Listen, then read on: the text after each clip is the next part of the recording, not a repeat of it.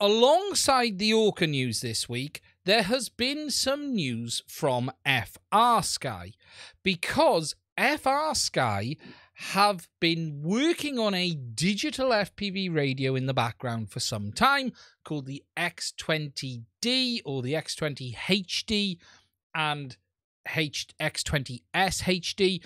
These are digital FPV versions of their X20, and there has been a lot of rumors about what they're using, and we now finally know, and that is HDZero.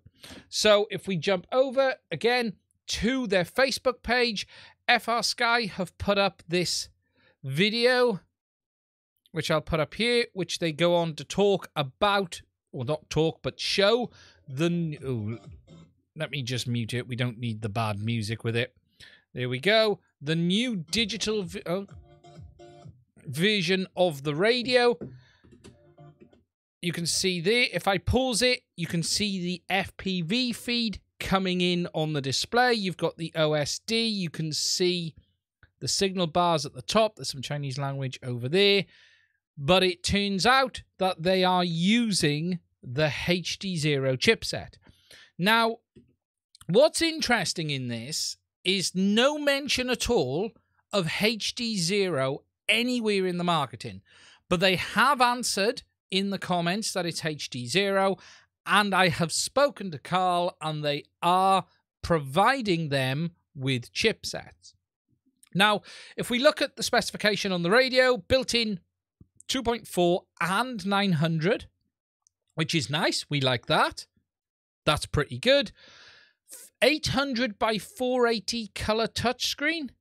So the FPV is going to be coming through on 800 by 480. That's not HD. So whilst the HD, the FPV system's HD, the display isn't. Six quick modes, light, module bay, etc., etc. All of the nonsense. Let's get down here. Do, do, do, CNC, but built in 0 milliseconds latency digital HD FPV feed, 720, 60 frames a second. But again, they're not saying HDZero. Now, in this post, they have replied to a question mark on what system is it using. Let me just find it. And they've said here, so if you guys can see it, can work compatible with all VTX product of HDZero. So they are saying it works with all of the HDZero VTXs. So, as far as I understand, it must be the same. It should work with the VRX. Well, it in the sense of you'd be able to get your normal HDZero on this.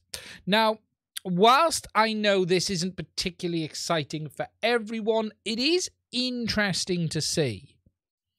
It is interesting to see that we do have a remote with a display option, but it isn't running EdgeTX OpenTX.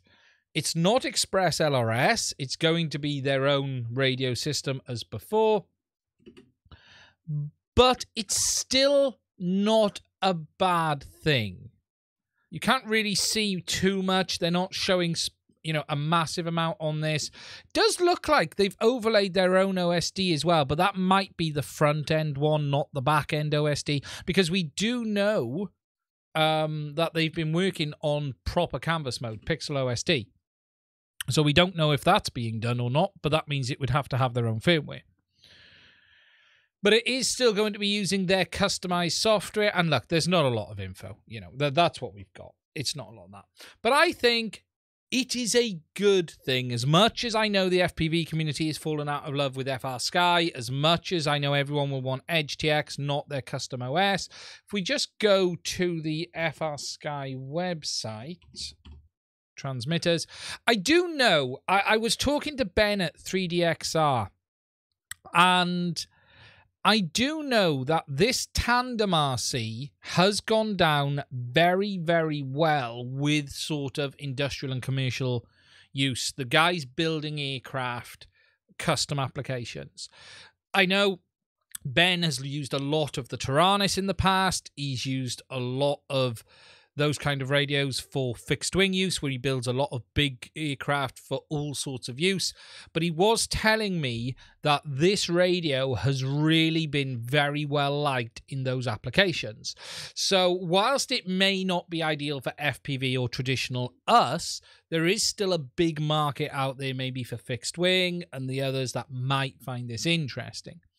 I would love to know if they could have it flash to Express LRS because we know some of the FrSky modules could flash Express LRS. If you could flash this Radio Express LRS, there'd be a lot of people very interested. If you could get EdgeTX and Express LRS on this, it's quite interesting. Um, a lot of commercial users opt for Jeti 2. Yeah, but Ben's been choosing it on the, the the sort of a middle ground choice. What's the point of such radio for FPV? Not really. Mostly fixed wing and stuff like that. They're showing it with a quad. It's not really going to be flown with a quad, but it is an interesting radio nonetheless. And yeah, you know, it's got their ethos or whatever they call it, uh, uh OSD. It supports all of the usual access modes, access D6, ACCST D16, access 2.4, access 900, which is that, you know, that's a nice feature. Stick to making the hardware, please. Yeah, it would be good. The display, mm, 800 by 480 isn't going to be enough, but it would be reasonably interesting to see how it looks. Uh, ETH Ethos OS, as I said. But you know, I don't want to poo it too much up front. I think it's good to see. It is more um more HD zero in more places than we've seen before. That's the thing with it. We're gonna have to see how it goes. I'd like to try one. I would be really interested in trying one with HD zero just to see what it's like.